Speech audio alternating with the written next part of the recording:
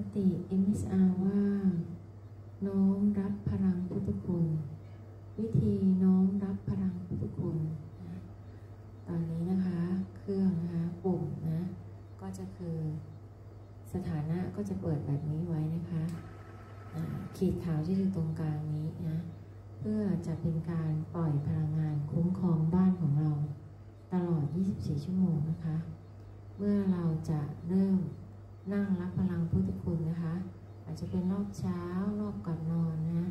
อันนี้ก็ทุกคนก็ปรับใช้นะเราก็จะนั่งอยู่นะต่อหน้าองค์พระนะคะนะองค์พระก็จะอยู่สูงกว่าเรานะคะ และเราก็นะนั่งพับเพียบก่อนนะตอนแรกนั่งพับเพียบก่อน แล้วก็สติเอ็มอาว่างนะแล้วก็พนมมือขึ้นมานะแล้วก็ตั้งนะโมสามจบ นะโมตัสสะภะคะวะโต อะระหะโต สัมมาสัมพุทธัสสะนะโมตัสสะภะคะวะโต อะระหะโต สัมมาสัมพุทธัสสะนะโมตัสสะภะคะวะโต อะระหะโต สัมมาสัมพุทธัสสะเรียบร้อยแล้วเราก็จะนั่งขัดสมาธินะคะ แล้วก็นะนำมือด้านหนึ่งของเรานะ ประคองนะ กล่องนะ กล่องสั่นแบบนี้ไว้นะคะ แล้วก็วางไว้ที่หน้าตักของเรานะคะ วางที่หน้าตักของเรานะแล้วก็มืออีกด้านหนึ่งก็จะหมุนปุ่มมาที่ซ้ายสุดนะสีขาวนี้นะคะ สีขาวนี้นะคะ จะมาอยู่ที่ซ้ายสุดแบบนี้นะคะนะแล้วเราก็พร้อมรับพลัง ปุ่มซ้ายสุดนี้เมื่อหมุนซ้ายสุดแล้วเนี่ยตรงเนี้ยก็คือเป็นการ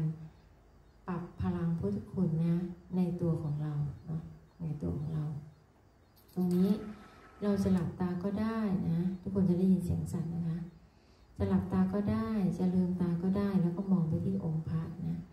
เมื่อองค์พระนะ เปลี่ยนเป็นสีแดงนะเปลี่ยนเป็นสีแดงนะคะ เราก็จะกล่องที่สั่นนะคะ เราไม่ได้รับพลังจากกล่องที่สั่น แต่กล่องที่สั่นเนี่ยเป็นเหมือนอสัญญาณเตือนนะ ว่าให้เตรียมตัวรับนะ แล้วก็นะองค์พระก็จะเปลี่ยนเป็นสีแดงทองนะนะแล้วก็จะโน้มรับพลังพุทธคุณเหนือเสียงก้าวเกษานะครอบเสียงครอบก้าวมานะคะแล้วเราก็จะรู้สึกนะที่ตาที่สามด้วยนะศีรษะด้วย แล้วก็จะรู้สึกถึงพลังงานที่ทะลุออกนะ ตามรูขุมขนของเรานะหมุนทะลุออกไปนะนะตรงนี้เราจะรู้ กได้สัมผัสได้นะแล้วก็จะเป็นนะตรงนี้ก็คือว่าโน้มรับสักสามครั้งนะหลับตาก็ได้ลืมตาก็ได้นะนะโน้มรับสามครั้งนะโน้มเข้ามาในใจของเรา คือตรงที่ว่าขนลุกขนพองเนี่ยอันนี้เป็นบางคนนะที่จะรู้สึกได้เนาะนี่ก็บอกเล่ากันนะเพิ่มเติมได้เนาะแล้วก็อพอจบตรงนี้แล้วใช่ไหมคะ ก็จะหมุนปุ่มนะนะขีดขาวๆนี้นะมาที่ขวาสุด มาที่ขวาสุดนะแล้วก็ตรงนี้เมื่อเหมือนเดิมเลยกล่องก็จะสั่นแล้วก็สีก็จะเปลี่ยนมาตรงเป็นสีสีแดง สีแดงทองส้มอย่างนี้นะอ่าที่เห็นนะเราก็จะน้มรับ ตรงฝั่งขวาสุดเนี่ยจะเน้นว่า ดึงพลังพุทธคุณแบบจริงๆนะแบบจริง ๆ มาใช้นะ จริง ๆ อีกทีหนึ่งนะอ่าซ้ายสุดจะเป็นการปรับพลังเนาะอ่าแล้วก็ขวาสุดนี่คือแบบจริง ๆ ตรงๆเลยนะก็ดึงพลังเรื่องของพุทธคุณนะเมตตามหานิยมนะหรือว่าจะเป็นอยู่ยงคงกระพันนะอะไรก็ได้ทุกคนจะนึกถึงพระองค์ไหนก็ได้เนาะแล้วแต่นะ แล้วก็ถ้าไม่มีอะไรจะขอท่านบอกให้ขอเด่นๆไปเลยเรื่องหนึ่งแต่ถ้าไม่มีอะไรจะขอก็อ่าออร่าราศีนะงานดีเงินเข้าทุกๆวันเนี่ยก็พูดรวมๆได้ แต่ท่านก็เน้นว่าให้เราขอแบบเด่นๆไปเลยเรื่องหนึ่งเนาะะหรือเราจะสติเอเวนซาว่างอีกครั้งหนึ่งแล้วเราก็จะเอเวนอาสามครั้งแล้วใส่รหัสก็ได้นะ แล้วเราจะสวดคาถามั่งคั่งร่ำรวยก็ได้เอเวนอาสามครั้งอุอากาสะนมะพัตะนมะโออีกสามครั้งก็ได้นะคะ หรือนะจะเป็นคาถานะพุทธคุณเก้านะตรงนี้ก็ได้นะคะเป็นคาถาหัวใจของพุทธคุณเนาะพุทธคุณเก้านะคะอะสังวิสุโรปุสะพุพะตรงนี้นะ เพื่อนๆก็จะ สวดเป็นคำย่อนะหรือจะสวดเป็นคำแปลนะอันนี้ก็คือตามอัธยาศัยเลยเนาะะก็จะเป็นบทสวดนะคะที่เราเคยสวดอิติปิโสกันอยู่แล้ว อันนี้ก็จะเป็นคำเก้าคำจากบทอิติปิโสนะพุทธคุณเก้านะนี่ก็ทุกคนก็ปรับใช้ตามอัธยาศัยนะคะ อะคราวนี้ก็จบขั้นตอน เราก็จะสิเอาว่างแล้วก็เก็บกุศลมุทิตาจิตเนาะวันนี้เพิ่มเติมจากท่านก็คือว่า สรุปว่าเครื่องนี้นะคะ